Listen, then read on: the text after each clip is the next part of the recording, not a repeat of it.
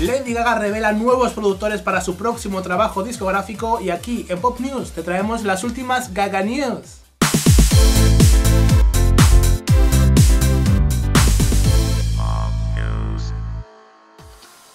Buenas monsters, hacía un tiempo que nos veíamos y he decidido, bueno, hacer finalmente este Caga que en un principio no quería hacer, pero después de todo el mundo por las redes sociales, habla de esto, habla de esto. Bueno, se ha confirmado un productor nuevo para el próximo disco de Lady Gaga, ya de paso lo comento y hacemos una especie de resumen de todo lo que se sabe del disco de Lady Gaga hasta el momento y de los próximos proyectos de Lady Gaga, ¿vale? Vamos a comenzar por la nueva noticia, que es un nuevo fichaje para el próximo disco de Lady Gaga, que se llama Boyzone, un productor alemán que es como súper cañero, es un productor bastante sintético, bastante muy, muy, muy, muy bailable, pero al extremo, quizá lo podríamos llevar más allá incluso de art pop.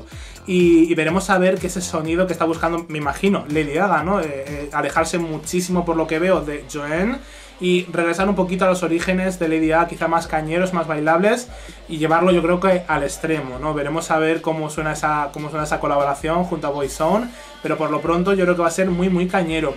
Lo, supo, lo supimos o se dio a conocer este productor debido a una serie de tweets que publicó el productor diciendo que bueno, casi Lady Gaga se había cargado su máquina de producir que estuvo echando agua, ¿no? Y Lady Gaga le contestó, no, es que era un bautizo, por lo cual podemos eh, entender que estaba bautizando las canciones, ¿no? Que estaba como eh, bautizando sus nuevos hijos, que son sus nuevos temas que ha hecho con ese productor. Así que está más que confirmado este productor del próximo disco de Lady Gaga. Y había algunos que ya se sabían. Y que a mí me sorprende bastante cuando sorprendéis de que, por ejemplo, Blood Pop esté colaborando junto a Lady Gaga cuando ya se sabía. Blood Pop, eh, la verdad que me sorprendió muchísimo el sonido que dio a Joanne, que era un sonido que se alejaba completamente con lo que hacía eh, Pop, con lo que suele hacer. Con lo cual no sé qué esperarme para este próximo disco de Gaga, porque a pesar de que los productores sean muy bailables, quizá nos sorprenda presentándonos otro perfil completo de los productores, ¿no? Algo que me gusta de la idea es que esté trabajando con productores que no son muy conocidos a nivel mundial, buscando un poquito un sonido nuevo y, que luego los, los, lanza a conocer, ¿no? Algo que no me gusta de la idea es cuando sigue un poquito la estela y en esta ocasión con Joanne no lo hizo y lo ha vuelto, espero que lo vuelva a hacer eh, con este nuevo fichaje, Boy Sound, que a pesar de que, por ejemplo, la ya hemos tenido antes, tampoco ha experimentado mucho en la carrera de Lady Gaga, así que esperemos tener un poquito más presente en el próximo disco de Lady Gaga. Otros de los productores que sí que han trabajado más Lady Gaga y que están metidos e involucrados en este próximo disco de Lady Gaga es DJ White que es un productor que estuvo en la era Born This Way, en Arch Pop, luego se alejó de ella por un tiempo y, bueno, pues ahora tendremos de regreso, ¿no? Quizá dándole ese sonido gaga que todos estamos esperando también, eh, vuelta un poquito a sus orígenes, ¿no? Yo creo que ese sonido que está buscando, quizá más sintético y más bailable. También se sabe, bueno, no se sabe, pero ya os lo digo yo, que está trabajando junto a Red One y cualquier día, bueno, pues ella misma lo hará saber en las redes sociales, pero es un productor que aunque no esté palpable que está en el próximo disco, está involucrado en el próximo disco de Lady Gaga, así que no nos sorprendamos cuando quizá anuncie o haya vídeos en, el estudio de grabación colaborando junto a Lady Gaga Red One, ¿no? De hecho, hace poquito, le envió, hace poquito le envió flores por su cumpleaños, con lo cual es señal de que hay una buena relación y que pretenden seguir. De hecho, en la carta, una carta que le venía con las, con las flores decía, eh, espero compartir otros 10 años más contigo, así que eh, veremos a ver esa colaboración si viene surgiendo prontito, ¿no?